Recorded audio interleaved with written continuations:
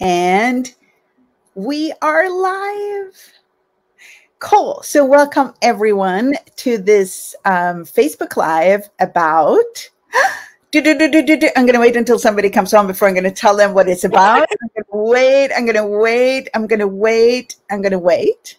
Hello. This is like calling everyone. Okay. So, this live is about Tomorrowland and it's now the time to feed the other wolf.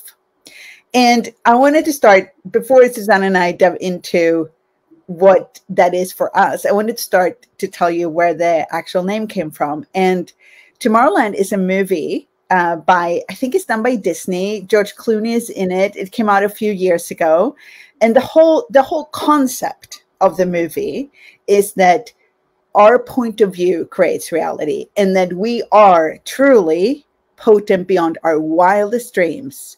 And that point of view in this movie is literally, I think it's like, um, it, there is a place called Tomorrowland that they're creating like another way of living, another way of functioning, another way of being. And at the same time, there is every single point of view that people on earth have about doom, gloom, catastrophe. All of that is um, I don't know, it's called like beam back at them with like a hundred million times. So slowly the earth is really dying. And it's dying based on all the thoughts, the feelings, and emotions of doom, gloom, the points of views that people on earth have that everything is going to hell in a handbasket.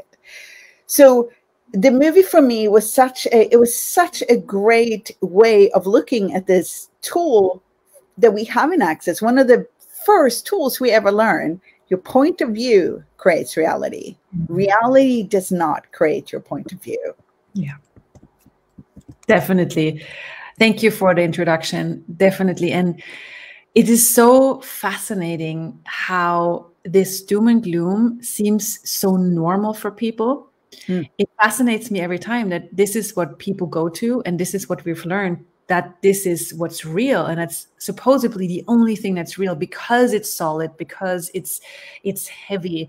And where people have learned like all of us grew up with okay look like what's heavy is real when in actuality like the opposite like what's light is true for us. And what this movie and what this invitation with tomorrowland is for me is like really this choice to be different and the choice to see like to acknowledge and celebrate what you see can be as our future and nurture that into existence.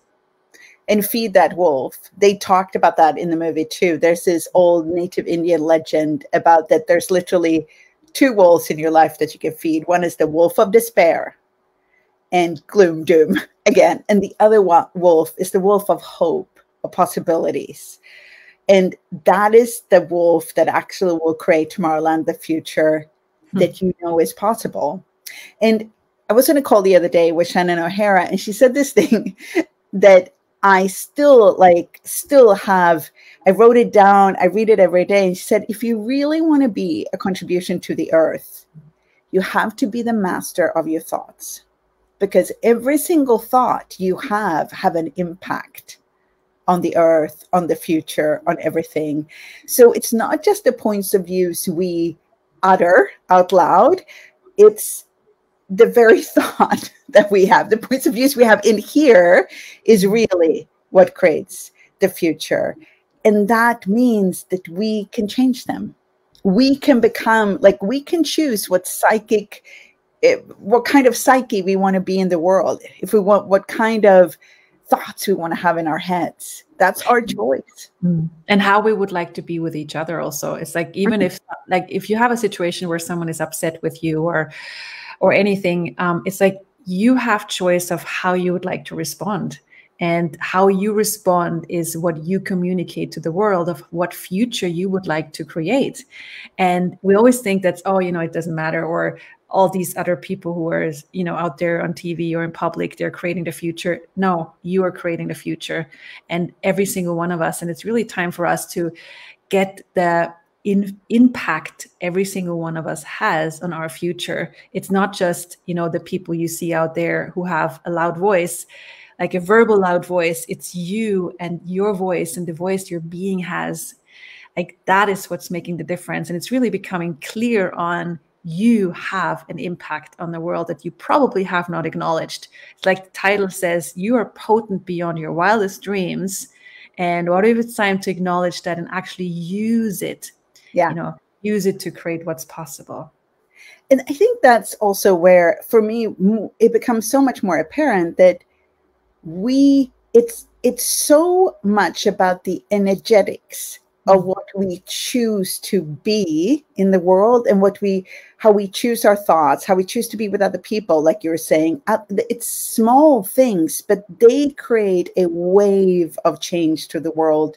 So also everywhere anyone who's listening to this kind of have gone to that it doesn't really matter what i do what i think what i say what i be. That is a lie. Mm. You matter everyone matters and what you choose and what you choose to do different to be different in the world will create a different world. And and i think one of the things that that susanna and i both get really excited about is using the tools of access consciousness using consciousness because it's easy to say think, you know, it's very annoying actually. Like, think positively and the world will get better. Or like the Pollyanna whole thing, you know, where be happy and everybody will be happy. So it's not about that you're wrong. You're wrong if you're aware of heaviness or things in the world. The, the key is that you have a choice and you can use the tools to literally use the point of view you have that the world is going to hell in a handbasket use the tool to change that and actually simultaneously change like being the waves like the rings on the water and changing so much more because you were willing to actually okay pick that thought that point of view up and saying hey is this really true? Is this really what i want to put in as a solidity in the world and have there? Or would i like to look at this?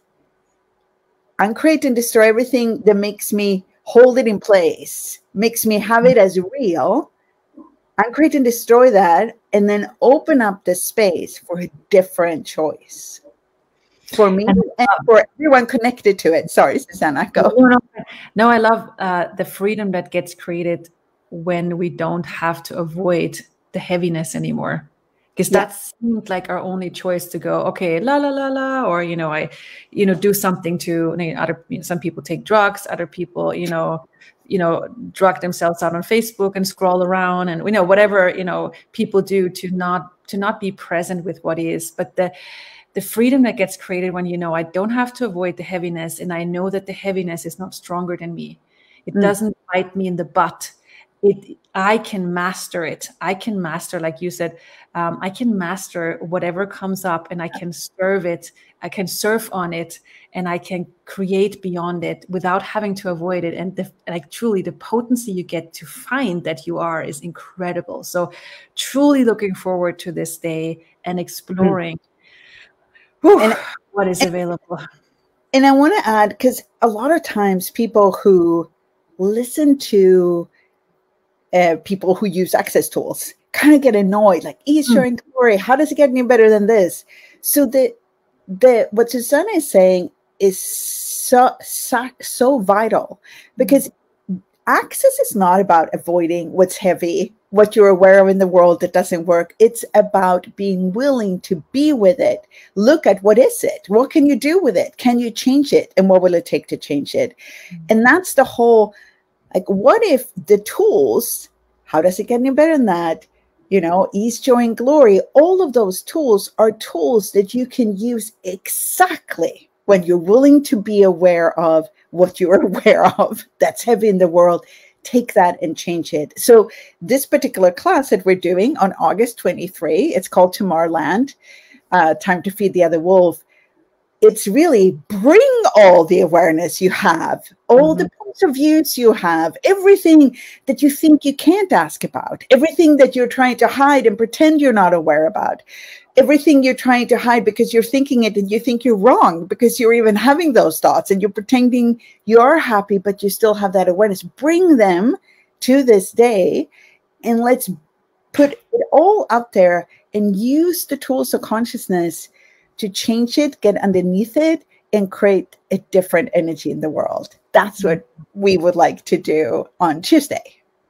Definitely. And when Katarina proposed that title in my class, it made me cry. I'm like, wow, that, you know, like knowing that we have the luxury and the fortune to create our future, not be the effect mm-hmm. of anybody else's projection on how the future should be or can't be, but we having the luxury to paint on that blank canvas because that's what it is right now. Like we we get to create it. We get to choose what colors we would like to have of our future but we got to know how potent we are. We got to know and acknowledge that we are capable of doing so. So yeah highly invited. Let's play. Let's create. And we're already doing this. So if you're mm-hmm. listening to this and you're doing any kind of access tools, if you're listening to videos, if you're going to bars classes, if you run your bars, if you're going to other classes, you're already part of creating Tomorrowland. So this is, I mean, it's been going on. You can perceive the change. You know, you can see what's going on in the world. And if you would like more clarity on that, you can also come to this class and ask those questions. Okay, so what are we creating? Where are we heading? are we all heading to one place? Like, what is this? Come and explore tomorrow, Tomorrowland, the future, and what the fuck else is possible with being so potent as we are lucky enough to be. I love it. Yes. so maybe see you on the 23rd, and I'll definitely see you, Susanna, on the 23rd. Until then, bye. bye.